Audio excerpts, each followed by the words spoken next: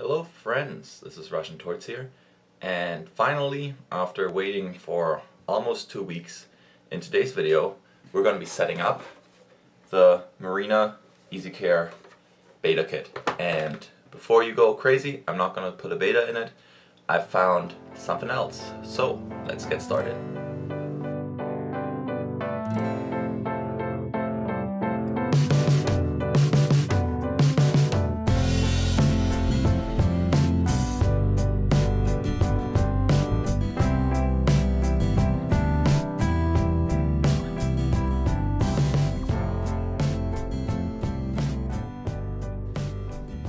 As always, the first step when you set up a new aquarium is washing everything. As you can see, I've already done that with the aquarium. As you can see the water droplets in there. So just make sure you wash everything so that there's no dust or other you know stuff in the aquarium that could end up harming the fish. And then the next step is to put in gravel into the aquarium. Now the EZ Care betta kit does come with gravel. This really big black gravel and I don't really like that. So I want to put some other gravel in there and I'm going to use this natural uh, smaller gravel and I'm going to use some of the bigger pieces kind of as decorative pieces.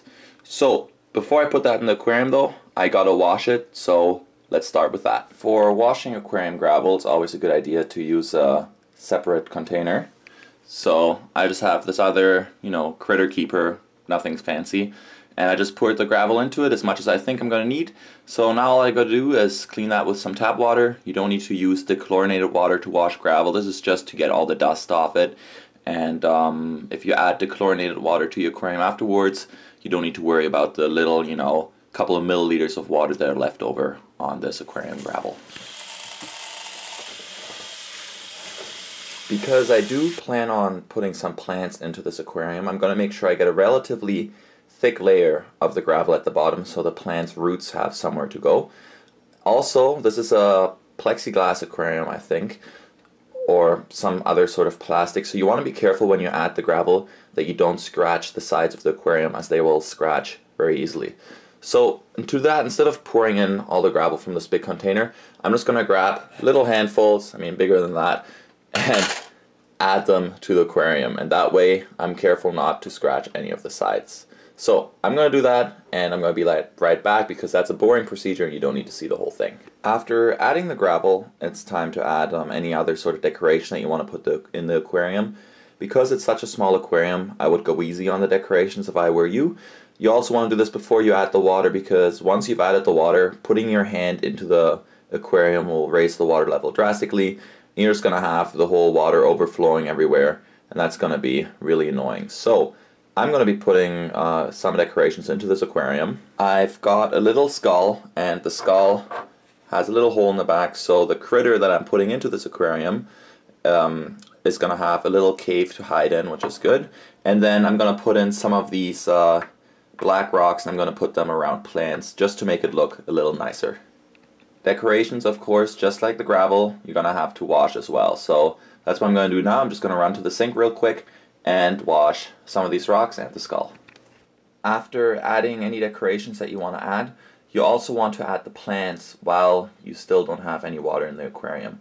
Same reason as for adding the decorations when it's dry, it just makes it easier to plant them and you don't have to deal with the water overflowing out of the aquarium. So I have some plants for this aquarium that I'm just going to add right now and I'll show you what it looks like after that. Alright, and here are the plants. I just used my handy uh, planting tongs to plant them. These guys right here, made by oh, Fluval. They were expensive when I first got them, but it's not like they ever break and they're definitely a worthwhile investment. So, as for plants, I have a little Java fern at the front here, and my hope is that grows very, very slowly because Java fern can get quite large. And I don't really know what this plant is. We've had it at the pet store for a while. It doesn't get any larger than this because it hasn't in the last couple of months. And it was just kind of hiding in the back of our planted aquarium. So I yanked that out and let's see how it does in here. Alright, I decided to throw in a couple more of the black rocks just to like accent the plants I guess. So now the aquarium is pretty much ready. All I gotta do is add the water and the fish.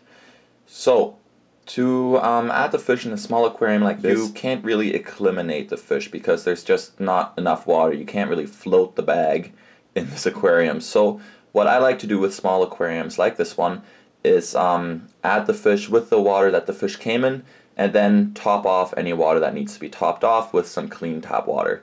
So I'm going to add the fish and the water, which is going to go about probably to the halfway point, and then I'm just going to mix some clean fresh water, fill it up to the top, and then we're going to talk about why I chose the fish that I chose. Alright, so I'm going to pour slowly, so not to disturb any of the beautiful aquarium I just set up, and I'm going to try to not get the fish in right away because there's not, not water in the aquarium yet. And uh, yeah, let's do it.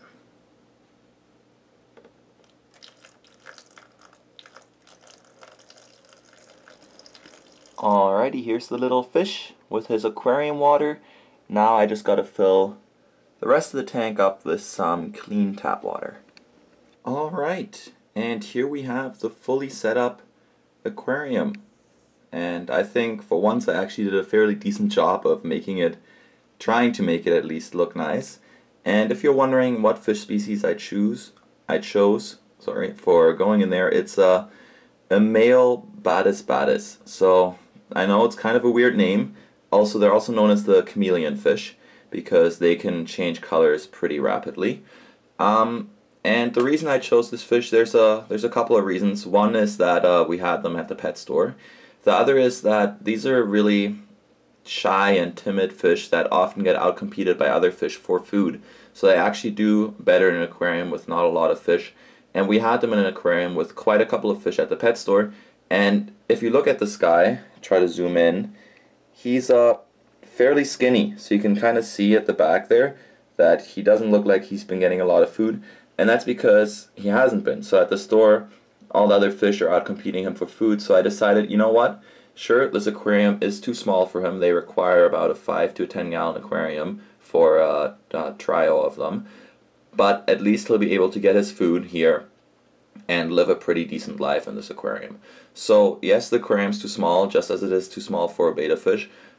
But the reason I chose this fish is because I figured he's gonna either die at the pet store hungry, or he's gonna live his life in a, an aquarium that's a little bit too small here, but at least get the food that he needs to survive.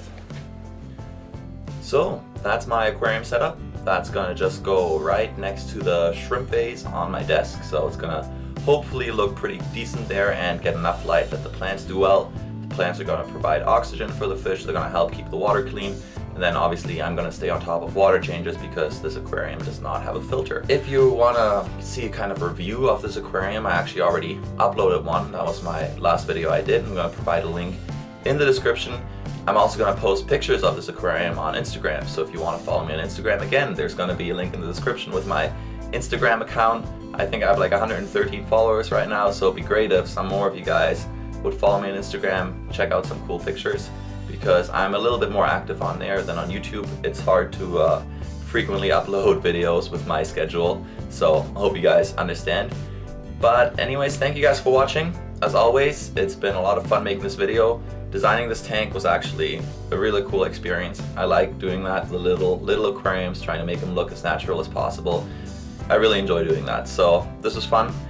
Even though it's late, it's like 10 o'clock at this point, I really enjoyed it. So with that, I want to thank you guys for watching. If you enjoyed this video and you're not subscribed yet, it would be great if you subscribe. I try to upload new videos fairly frequently.